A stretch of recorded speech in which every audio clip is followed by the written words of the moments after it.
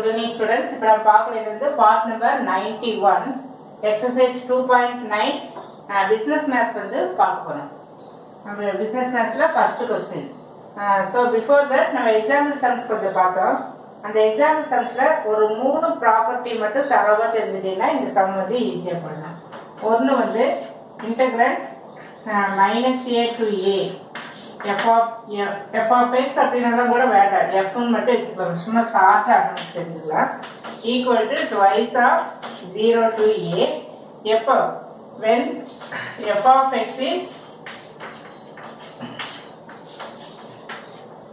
even function F of X even ஃபங்க்ஷனாக இருக்கிறப்போ even function என்ன? இரட்டை சார்பு. இரட்டை சார்பு. இந்த மாதிரி இருக்கிறப்போ இந்த ப்ராப்பர்ட்டியை நம்ம யூஸ் பண்ண முடியும். அதாவது இரட்டை சார்பு அப்படின்னா எப்படி இருக்குன்னா F of X equal to F of minus X இதெல்லாம் சேர்ந்து மொத்தமாக ஒரு கண்டிஷன் தான் இந்த இதில் வரும் அதாவது ஃபஸ்ட்டு எடுத்தது இதுதான் பார்க்கணும்.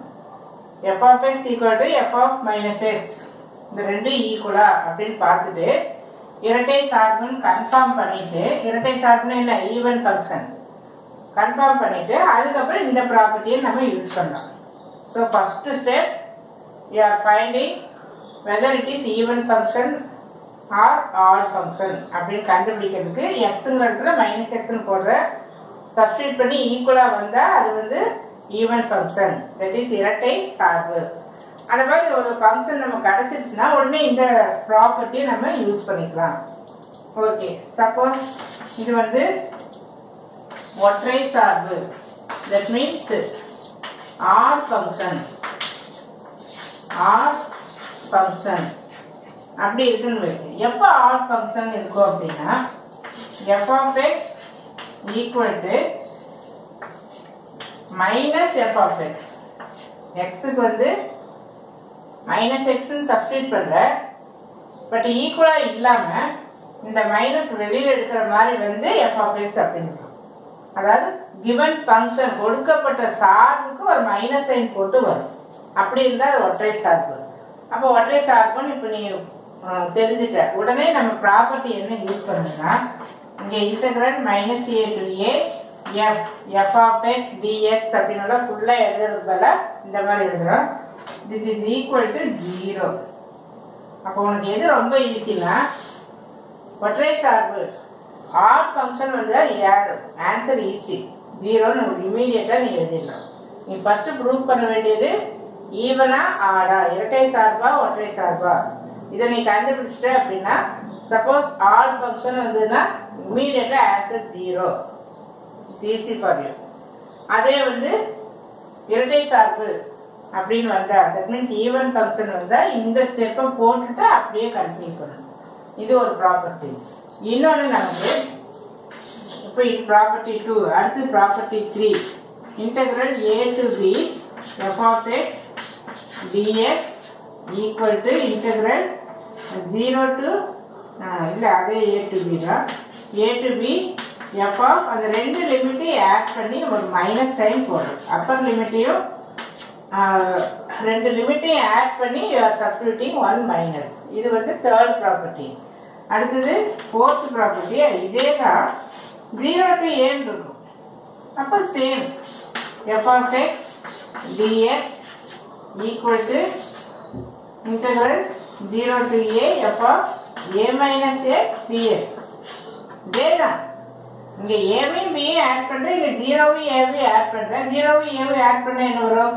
ஏ ஸோ இந்த நாலு ப்ராப்பர்ட்டி யூஸ் பண்ணி தான் இந்த சம் வந்து நம்ம செய்கிறோம் இந்த நல்லா தரவை பார்த்துக்க இந்த நாலு ப்ராப்பர்ட்டி தெரியலன்னா இந்த எக்ஸைஸ் வந்து நம்ம போட முடியாது. So once again I tell you வந்து ஈவன் ஃபங்க்ஷனா ஆல் ஃபங்க்ஷனான்னு பாரு. ஆடா இருந்தால் ஜீரோ ஈவனாக இருந்தால் இந்த ப்ராப்பர்ட்டி யூஸ் பண்ணணும். இது minus A to A F equal to twice of இந்த லிமிட்டை நல்லா பாரு. இது என்னன்னு மாறிடும். ஜீரோ அப்படின்னு சொல்லி மாறி இந்த இடத்துல ஏ அப்படின்னு அடுத்து இந்த ரெண்டு லிமிட் கொடுத்துருக்கோம் ரெண்டையும் ஆட் பண்ணி மைனஸ் எக்ஸ் இங்கேயும் ரெண்டு லிமிட் கொடுத்துருக்கோம் ரெண்டையும் ஆட் பண்ணி மைனஸ் எக்ஸ் ஸோ இதை நம்ம இப்போ அழிச்சிடலாம். இப்போ நம்ம வந்து ஃபர்ஸ்ட் கொஸ்டின் வந்து பார்க்க போகிறோம் ஃபர்ஸ்ட் ரெண்டு கொஸ்டின் செஞ்சுட்டு இந்த வீடியோ வந்து ஓவர் ஆயிடும். இப்போ இதுக்கு நம்ம என்ன பார்க்கணும்னா இது என்ன ஃபார்ம் மாதிரி தெரியுது பார்த்தா? இந்த ஃபர்ஸ்ட் ஒன் ப்ராப்பர்ட்டி ஒன் பாரு அது ரெண்டையும் கம்பேர் பண்ணி பாரு. மைனஸ் ஏ டு ஏ அப்போ நம்ம என்ன ஃபர்ஸ்ட் என்ன செய்யணும்? ஈவனா ஆடா அப்படின்னு பார்க்கணும். So step one you find whether it is even or odd அதாவது இரட்டை அல்லது ஒற்றை சார்பு அப்படின்னு சொல்லி நம்ம பார்க்கணும். அதுக்கு நம்ம என்ன பண்ணணும்னா ஃபர்ஸ்ட் இதை மட்டும் நான் கன்சிடர் பண்ணிட்டேன். F X equal to X cube cos cube X நம்ம என்ன போடணும். மைனஸ் எக்ஸ்னு போடணும். ஸோ எக்ஸுக்கு பதிலாக எக்ஸை நம்ம என்ன ரீப்ளேஸ் பண்ணணும். மைனஸ் எக்ஸ் அப்படின்னு சொல்லி ரீப்ளேஸ் பண்ணணும். அப்போ போட்டீங்கன்னா இங்கே என்ன வரும்? Minus X whole cube then cos cube இங்கே எக்ஸுக்கு பதிலாக என்ன போடுறேன் மைனஸ் எக்ஸ் வேணா இப்படி போட்டுக்கலாம். ஸோ இங்கே ஆட் நம்பர் வரப்போ மைனஸ் இருக்கும் இல்லையா? ஈவனாக இருந்தால் பிளஸ் ஆயிடும் ஆட் வரப்போ மைனஸ் ஆகும் cos of minus theta plus cos theta cos வந்து நமக்கு cos of minus theta equal to plus cos theta cos என்ன ஃபங்க்ஷன் ஈவன் ஃபங்க்ஷன் அப்போ இது இந்த மைனஸ் போயிடும் அப்போ இது பாரு. மைனஸ் அப்படியே எஃப் ஆஃப் இந்த மைனஸ் மறந்துட்டு பாரு. அப்படியே எஃப் ஆஃப் அப்படின்னு சொல்லி இருக்கு.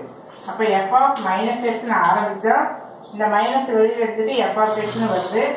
இப்படி வந்ததுன்னா நமக்கு இந்த சார்பு என்ன சார்பு நமக்கு? Odd function that is therefore f of x is odd function odd function என்ன?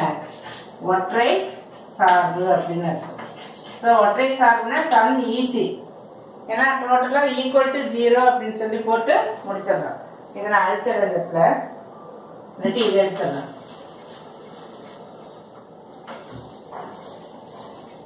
So which implies அந்த சம் அப்படியே எழுதுறேன் minus five by four to plus five by four X cube cos cube equal to zero இந்த இடத்துல நம்ம என்ன எழுதணும்? By property by property அப்படின்னு எழுதி இப்போ நான் அழிச்சேன் இல்லையா? அந்த ப்ராப்பர்ட்டியை எழுதிட்டு இதை வந்து எழுதி ஸோ இது வந்து ரொம்ப ஈஸியான சம் தான் ஃபர்ஸ்ட் நீ ஈவனா ஆடான்னு பார்க்கணும். Odd means equal to zero sum over even means இந்த ட்வைஸ் ஆஃப் அப்படின்னு எழுதணும். இது வந்து அடுத்த சம்ல வரும். தேங்க்யூ